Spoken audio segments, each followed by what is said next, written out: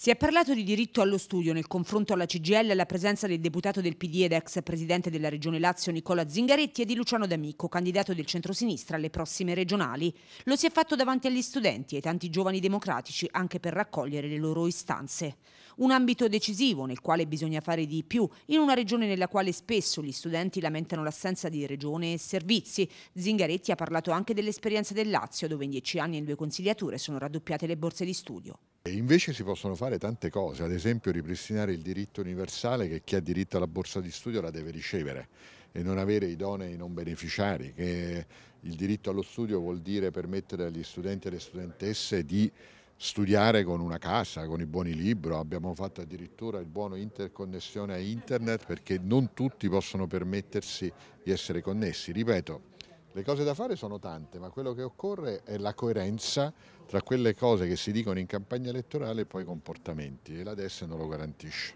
Per Zingaretti, alla luce delle prossime elezioni, D'Amico è il candidato giusto. Secondo me è l'opportunità, è il candidato giusto D'Amico non per il PD o per il centrosinistra, è il candidato giusto per l'Abruzzo. Io da osservatore, ex presidente di regione, dico stanno arrivando miliardi di euro, miliardi, tantissimi, eh, tutte le regioni giustamente sono in competizione, ma servono persone autorevoli per intercettarli. Del diritto allo studio d'amico sa, con la sua lunga esperienza accademica, è uno che di questi temi può parlare, conosce tutto e la ricetta soprattutto dice per far andare meglio le cose.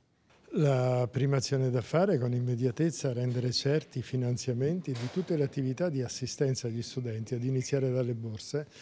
e cercare anche di erogare le borse non come un rimborso alcuni mesi dopo che le spese sono state sostenute, ma come si fa, come buona pratica insegna negli altri paesi europei, con erogazioni anche mensili e anticipando uh, l'erogazione rispetto al sostenimento dei costi per i ragazzi. Poi bisogna, con un orizzonte temporale molto più ampio ed esteso, bisogna iniziare ad immaginare